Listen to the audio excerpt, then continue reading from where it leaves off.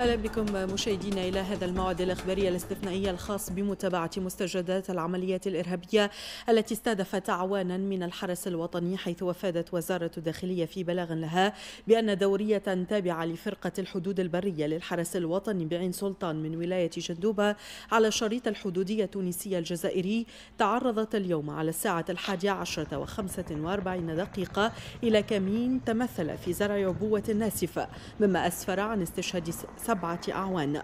وأكدت الوزارة أن عملية تمشيط وتعقب المجموعة الإرهابية ما تزال متواصلة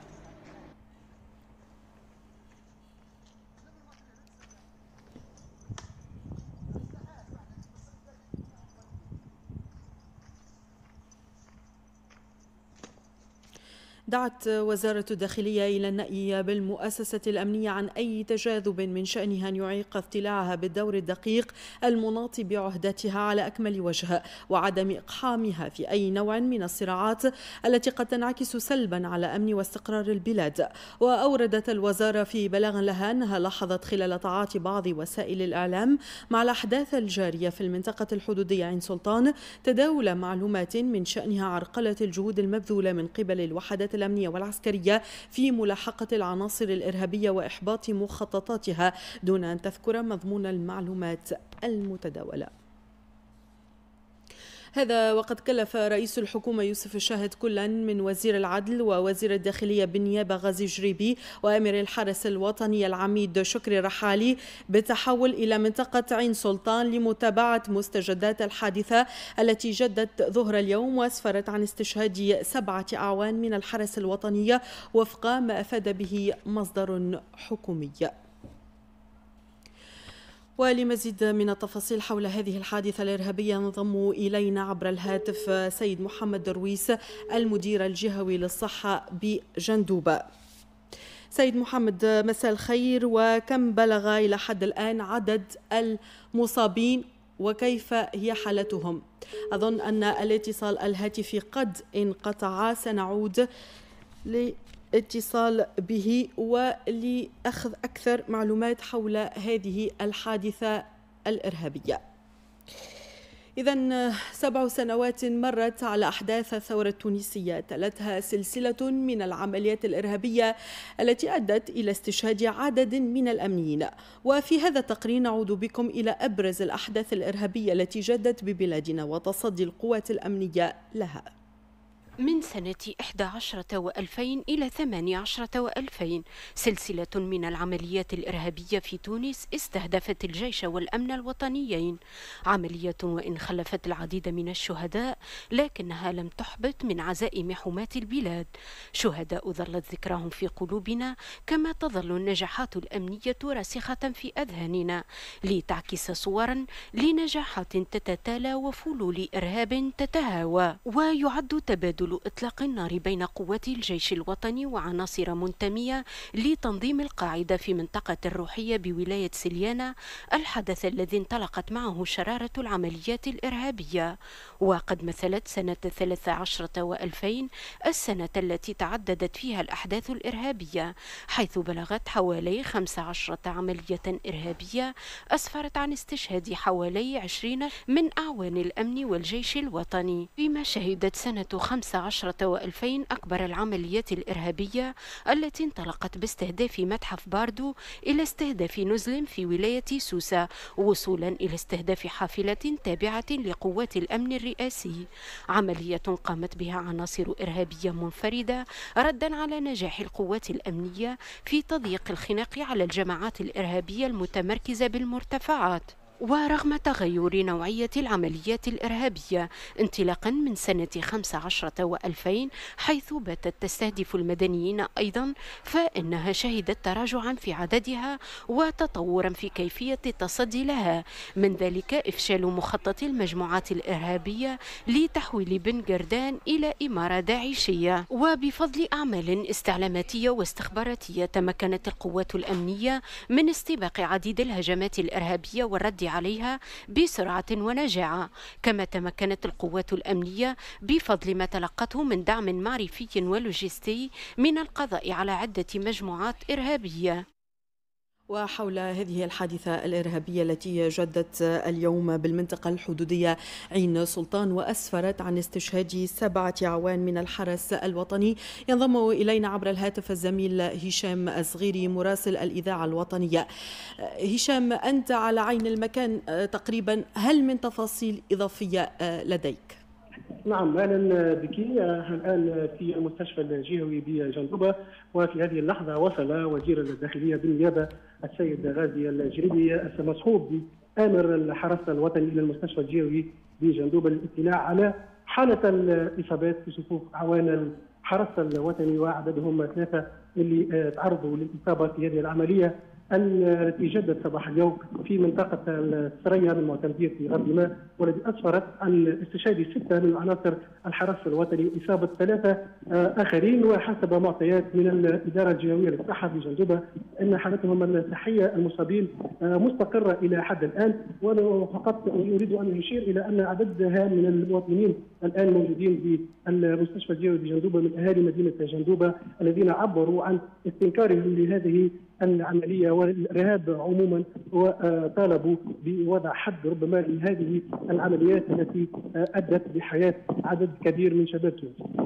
نعم هشام صغيري مراسل الإذاعة الوطنية كنت معنا عبر الهاتف مباشرة شكرا جزيلا على تدخلك معنا.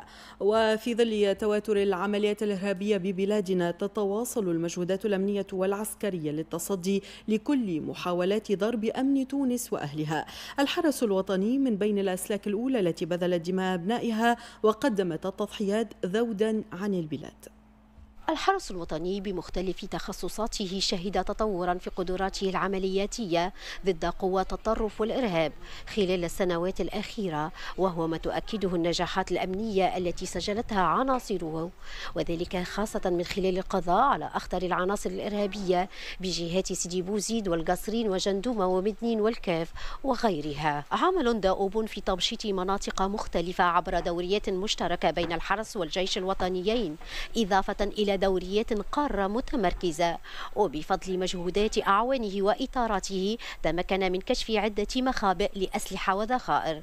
كما تمكن أعوان الحرس الوطني في عدة مناسبات بالتعاون مع قوات خاصة من الأمن والجيش الوطنيين من مداهمة عدد من المنازل المشبوهة. ليتضح وجود أسلحة ووثائق يتم فتح مخططات المجموعات الإرهابية في عمليات استباقية ناجحة. الحرس الوطني كان وما يزال وسيظل سدا منيعا أمام العمليات الإرهابية. سالت دماؤه لتروي حكايات البواسل في تصديهم للإرهاب. إلى ولاية القصرين الآن وفي ثماد بمعتمدية سبيبة المتاخمة لجبل المغيلة تمت في حدود الساعة الواحدة من ليلة أمس مداهمة زاوية سيدس الحسناوي وحرق محتوياته. وأكد وكيل الزاوية أن العملية كانت بفعل فاعل وقد تم فتح تحقيق في الحادثة بعد أن تدخلت الوحدات الأمنية لتحديد هوية الجناد ورجحت مصادر أمنية بالجهة في تصريح لمراسلة الأخبار أن تكون مجموعة إرهابية مسلحة وراء العملية خاصة وأن الزاوية المذكورة توجد بسفح جبل المغيلة وللإشارة فإن مركز صحة أساسية يبعد عن المكان حوالي 100 متر. قد تعرض خلال فترة سابقة إلى الخلع والسرقة من قبل عناصر إرهابية. مع ساعتين هيك ما ساعة ونص في الوقت هذاك. يعني وقت وصلنا لهنا. علمنا الحكم. زيادة على ذلك نحن ظهر لنا في أدلة واضحة. لا فيها لا شك ولا فيها اختلاف ولا فيها حتى شيء.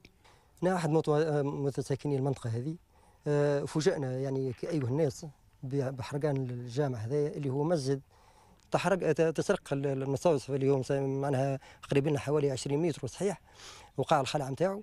بينما حوايج أخرى ما ثماش. آه، تبقى ناقصة حاجة لهنا في المنطقة هذه هي نطالبوا كمواطنين أن باش تكون عندنا يعني حماية. تحرق جامع بيت ربي ما منعتش. فما بالك الله أعلم مواطنين ممتلكات مواطنين سياحيا حضور أمني مكثف تشهده جزيرة جربة لتأمين الموسم السياحي الناجح في ذروته حيث أجمع كل المتدخلين على ارتياحهم من الإجراءات المتخذة. في جزيرة جربة وفي ذروة موسم سياحي متميز ومع ما تشهده الجزيرة من توافد لآلاف الزوار حضور أمني مكثف أدخل الكثير من الطمأنينة على السياح من تونس ومن الخارج. وصلنا إلى تونس منذ أيام ولاحظنا وجود الأمن والحماية في كل مكان. الأجواء هنا رائعة ولم نتعرض إلى أي مضايقات ونحن نأتي إلى تونس كل سنة. عندما أتجول في الشوارع لا أشعر بأي خطر خاصة مع التواجد الأمني المكثف وهذا يشعرني بالأمان والطمأنينة.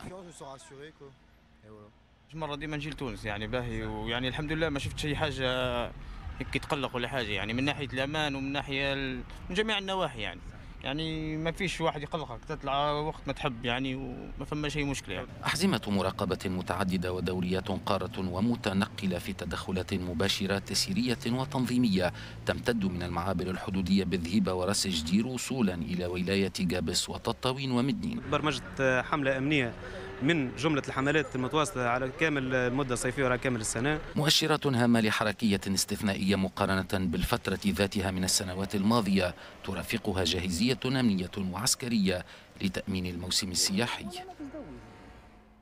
ونذكركم مشاهدينا أننا بصدد متابعة مستجدات العملية الإرهابية التي استهدفت أعوانا من الحرس الوطني حيث أفادت وزارة الداخلية في بلاغ لها بأن دورية تابعة لفرقة الحدود البرية للحرس الوطني بعين سلطان من ولاية جندوبة على شريط الحدودية التونسية الجزائري تعرضت اليوم على الساعة الحادية عشرة وخمسة وأربعين دقيقة إلى كمين تمثل في زرع عبوة ناسفة مما أسفر عن استشهاد سبعة أعوان. وأكدت الوزارة أن عملية التمشيط وتعقب المجموعة الإرهابية ما تزال متواصلة.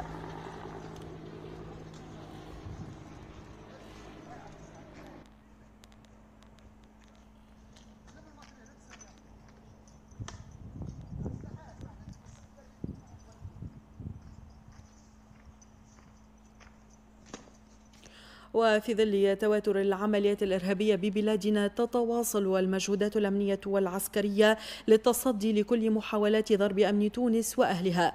الحرس الوطني من بين الأسلاك الأولى التي بذلت دماء أبنائها وقدمت التضحيات ذودا عن البلاد.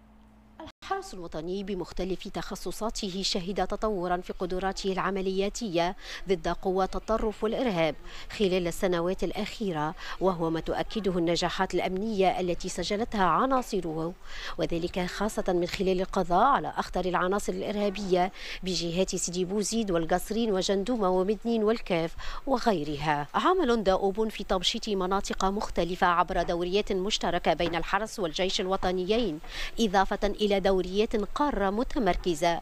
وبفضل مجهودات أعوانه وإطاراته تمكن من كشف عدة مخابئ لأسلحة وذخائر. كما تمكن أعوان الحرس الوطني في عدة مناسبات بالتعاون مع قوات خاصة من الأمن والجيش الوطنيين من مداهمة عدد من المنازل المشبوهة.